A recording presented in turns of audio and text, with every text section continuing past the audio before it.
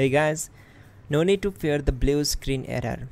We have the solution to get you back on track. Just follow my screen to fix this issue.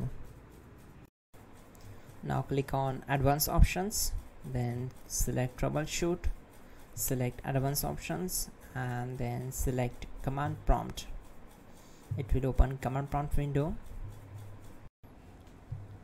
Type chkdsk slash f slash r c colon and hit enter to execute the command. Now wait for some time to complete the process. Once done move to the next step. Type c colon and hit enter to execute the command. Now type cd space c colon slash and hit enter to execute the command.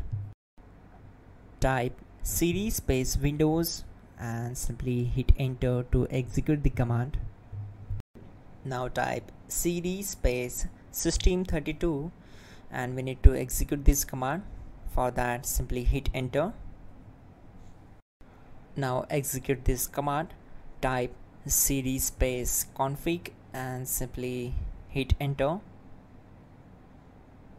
Now execute this command carefully. Type in md space backup and simply hit enter to execute it. Now type copy space star dot star space backup and simply hit enter to execute the command. Now type md backup1 and hit enter. Once we are here we need to execute this command. Type copy space star dot star space backup1 and then press enter from your keyboard to execute this command. Now mm-hmm. type cd space regback and simply hit enter. Then type dir and simply hit enter. Now type copy space star dot star space dot dot and hit enter. Then type all and hit enter to execute the command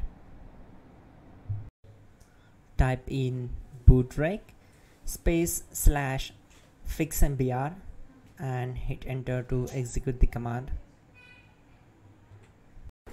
Now type in bootrec space slash fixboot and simply hit enter to execute the command. Type cd space c colon slash and hit enter now type this command cd space windows slash system32 slash config slash regback and simply hit enter to execute the command. Now type this command bcd edit space slash export space c colon slash bcd backup and hit enter. Type cd space c colon slash and hit enter now execute this command. Type md space boot and simply hit enter to execute this command. Type cd space boot and simply hit enter. Now type md space bcd and hit enter. Now execute this command. Type cd space c colon slash and hit enter. Now execute this command type attrib space c colon backslash boot backslash bcd space dash h space dash r space dash s. And simply hit enter.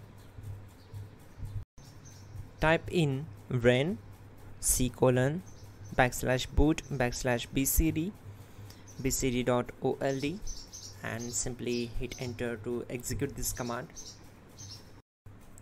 Now type bootrec space slash rebuild bcd and simply hit enter. Now type exit and simply hit enter. Now click on continue. It will restart your system. So that's it guys. Your problem is solved and you are good to go